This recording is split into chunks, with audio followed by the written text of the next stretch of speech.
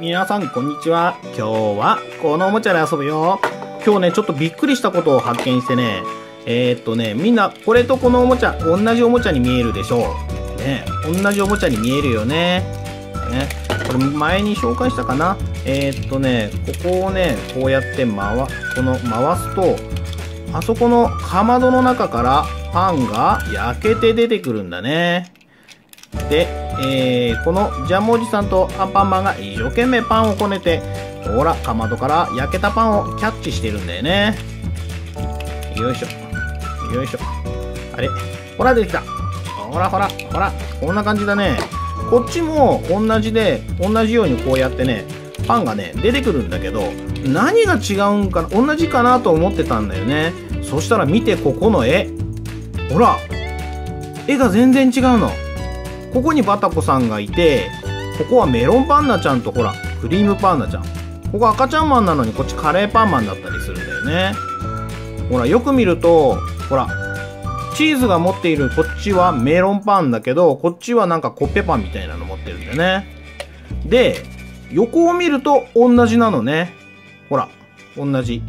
同じだと思ったら、ここ、花の色がちょっと違うんだよね。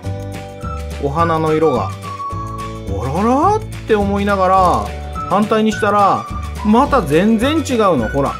バイキンマンとバイキンマンドキンちゃん UFO に乗ってるドキンちゃんとそうでない立ってるドキンちゃんとね全然違うんだよねでここはまあ一緒なんだけどこんな感じでいやそっくりなんだけどちょっとずつ違うんだねこんなに色々違うとねびっくりしちゃったこれはまた全然違うねここを押すとえー、アンパンマンのパンがねかまどの中で焼けてない時のアンパンマンこれが焼けた時のアンパンマン。ね。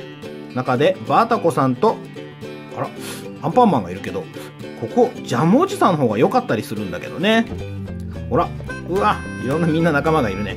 昼寝してるよ、バイキンマン。あ、これ、こね、やっぱりこ、同じだね、ここの辺はね。でもね、これはいいんだけどね、このシリーズ大好きなんだけど、この違いに今日気づいてびっくりしたの。同じだ同じだって思い込んでたんだけどみんな意外にね同じおもちゃでも色々と小さいところが違ってて楽しむことができるんだね。みんなももし同じおもちゃが手元にあったら本当に同じかよーく見てみて。違うところがあるかもしれないよ。じゃあ次の動画で待ってるね。またね